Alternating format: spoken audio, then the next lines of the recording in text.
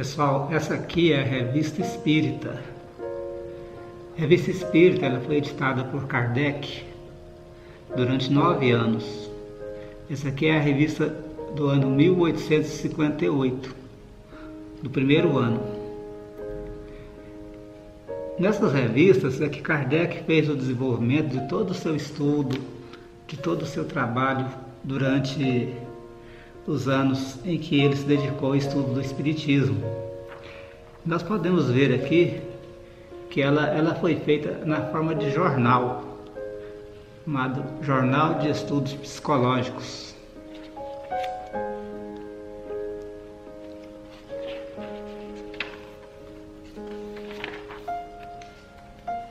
Nós vamos mostrar hoje aqui algumas, pelo menos uma, das evocações que Kardec fez de espíritos através dos médiums ou das médiums que trabalhavam com ele na época de sua produção, quando estava em, em produção total do seu trabalho de, de estudos sobre espiritualidade, sobre o espiritismo. Aqui na página 6, nós vamos ver que Kardec fala das diferentes naturezas de manifestações. Diferentes naturezas de manifestações.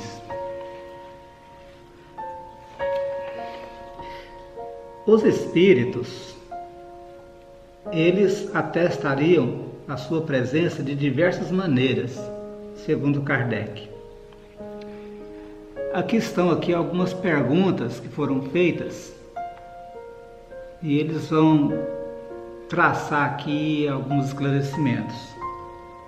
Vamos ter a paciência de ler e sentir a paciência de vocês em, em nos ver aqui a leitura, que, para que a gente possa fazer pelo menos a, a leitura da primeira de suas comunicações, né? Que tem aqui. Então tem, vamos resumir, né? tem a ação oculta, tem a ação patente ou manifestação, as manifestações físicas ou materiais, as manifestações visuais ou aparições, as manifestações inteligentes, as comunicações. A natureza dessas comunicações varia segundo o grau de elevação ou inferioridade do saber ou da ignorância do espírito que se manifesta ou segundo a natureza do, do assunto de que se trata. Essas comunicações podem ser frívolas, grosseiras, sérias ou instrutivas. Aqui mais à frente, eu aconselho a quem gosta de estudar o Espiritismo a ler esta revista, porque para que tenha a profundidade exata né, desse estudo, Kardec fala dos diferentes modos de comunicações, como é que os espíritos se comunicam se comunicam conosco, né? E mais à frente aqui tem as respostas dos espíritos a algumas perguntas aqui nesse trabalho. Veja essa pergunta aqui. Como os espíritos podem agir sobre a matéria? Isso parece contrário a todas as ideias que fazemos da natureza dos espíritos. Porque, gente, ainda existem várias religiões que falam que o espírito não tem matéria, que o espírito não é matéria. Mas foi isso cogitou, né, fez com que Kardec fizesse essa pergunta para os espíritos. E eles nos respondem, aliás, responderam a ele, né? Segundo vós, o espírito não é nada, é um erro. Já o dissemos, o espírito é alguma coisa e é por isso que ele pode agir por si mesmo. Mas vosso mundo é muito grosseiro para que possa fazê-lo sem intermediário, quer dizer, sem o laço que une o espírito à matéria. Aqui, os espíritos vão fazer alusão ao corpo que envolve o espírito, que é o chamado perispírito, que é o corpo espiritual. Então, nesse sentido, este corpo semimaterial, podemos dizer assim, intermediário, é que vai dar possibilidade para que o espírito possa se comunicar com o homem, com o homem encarnado. Esse laço está aqui na observação que une o espírito à matéria, não sendo ele mesmo senão imaterial, pelo menos impalpável, essa resposta não resolveria a questão. Se não tivéssemos exemplo de forças igualmente inapreciáveis agindo sobre a matéria. Isso foi a observação de Kardec. Veja que nós temos, por exemplo, que o material, quanto mais fluido, quanto menos palpável, mais forte ele é. É o caso, por exemplo, da eletricidade. É...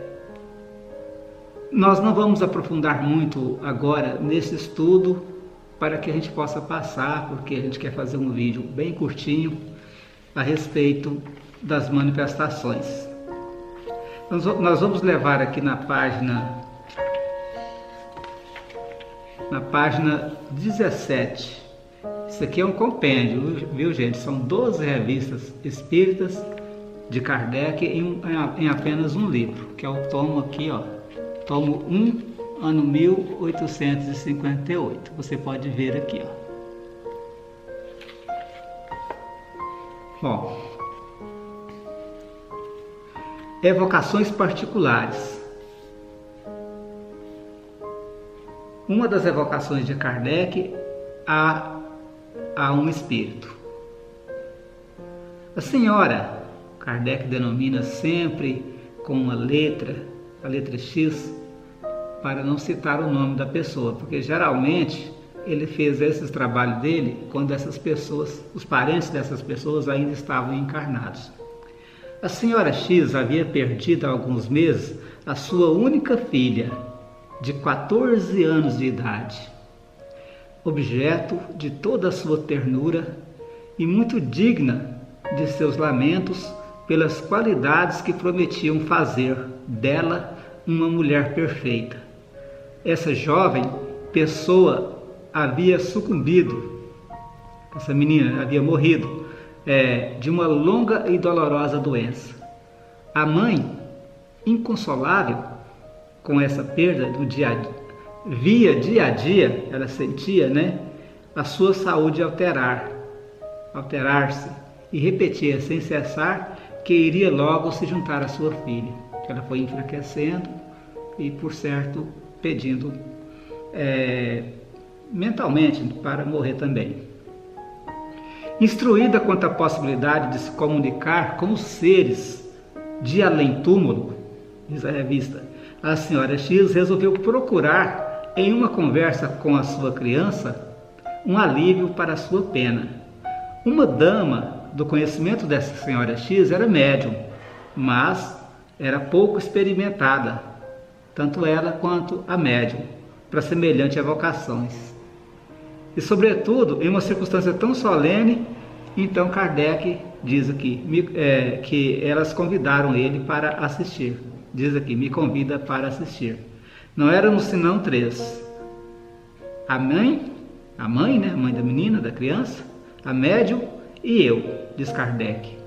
E eis o resultado dessa, dessa primeira sessão. Veja bem.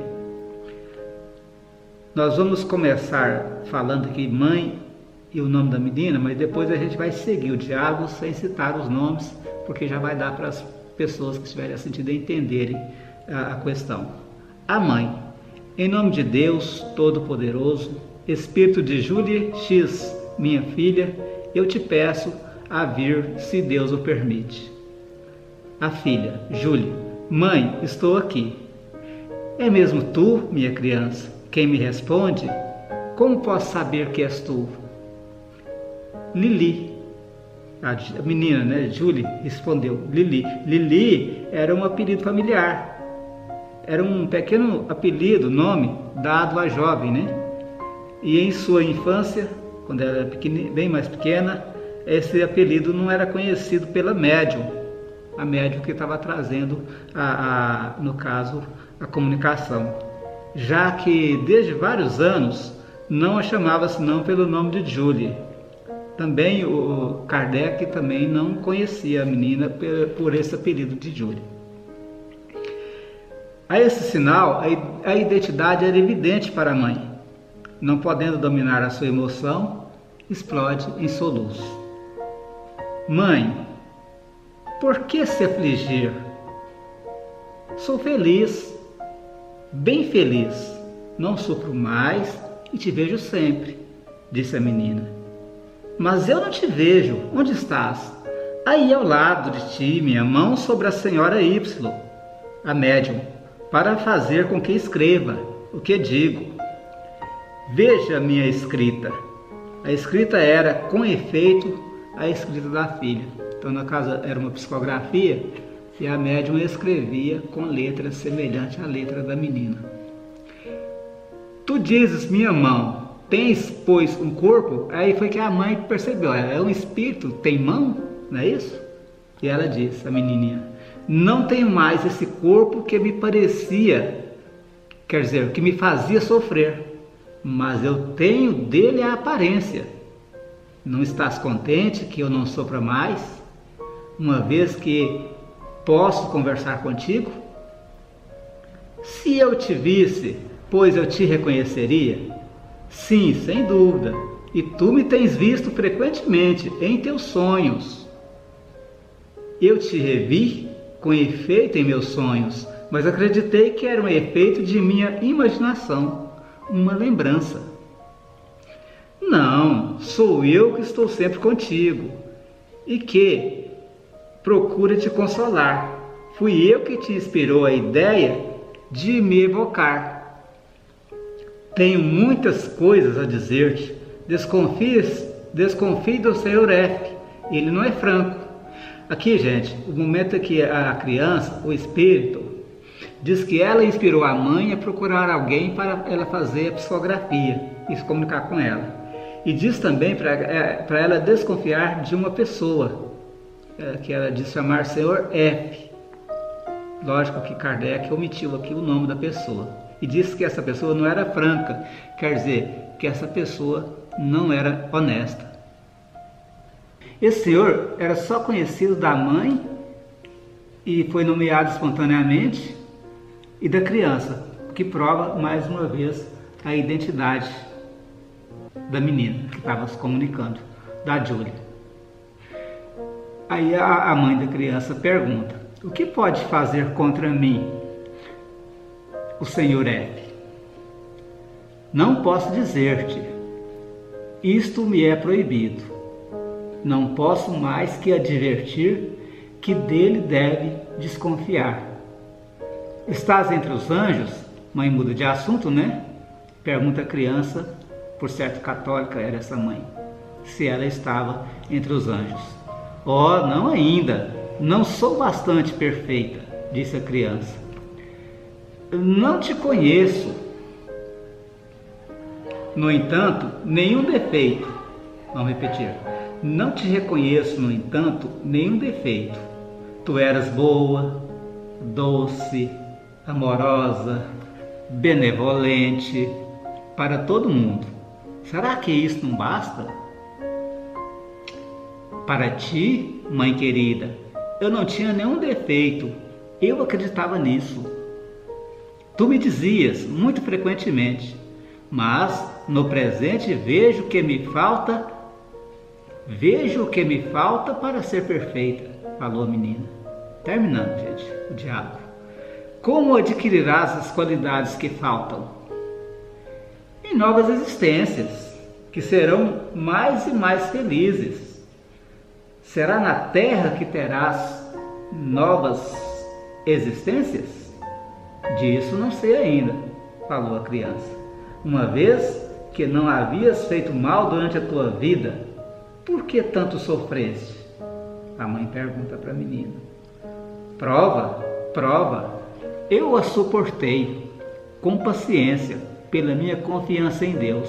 Por isso, sou bem feliz hoje. Até breve, mãe querida.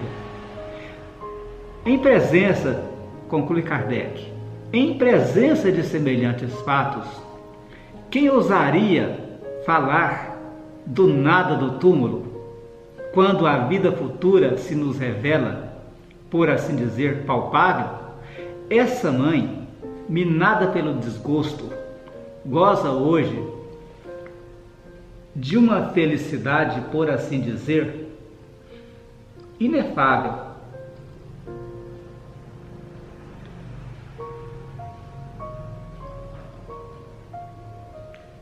por poder conversar com a sua criança.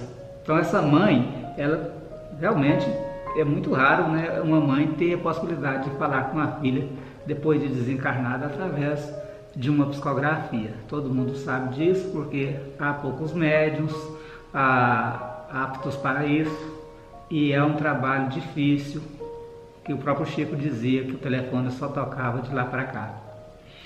É,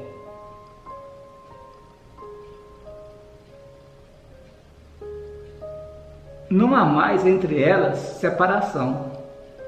Suas almas se confundem e se expandem do seio uma da outra, pela permuta de seus pensamentos. Malgrado o véu, quer dizer, apesar do véu do qual cercamos essa relação, não permitiríamos publicá-la, diz Kardec, se para isso não estivéssemos formalmente autorizados. Até naquela época já se exigia o direito, né, gente? Se fosse publicar alguma coisa, teria que haver autorização. Então, Kardec então foi autorizado e publicou essa mensagem, essa, essa entrevista nessa obra que nós estamos relatando aqui. Pudessem, disse-nos essa mãe, todos aqueles que perderam as suas afeições na terra, eu também, eu também diria isso, né? Experimentar a minha mesma consolação não acrescentaremos senão uma palavra endereçada àqueles que negam a existência dos bons espíritos. Nós lhe perguntaremos: como poderiam provar que o espírito dessa jovem era um demônio malfazejo? Então, se há essa acusação de que esses espíritos que se comunicam seriam demônios, a mesma dificuldade teria para se provar que são demônios, quanto a questão da veracidade dessas comunicações, que nós sabemos que trazem particularidades, trazem informações que somente a pessoa desencarnada tinha e os parentes próximos a essa pessoa. Então, esta, este foi um vídeo falando algo da obra que nós chamamos de Revista Espírita, tomo 1, 1858, uma das mensagens psicografadas, uma das comunicações que se encontram nessa obra. Faremos outras noutra oportunidade.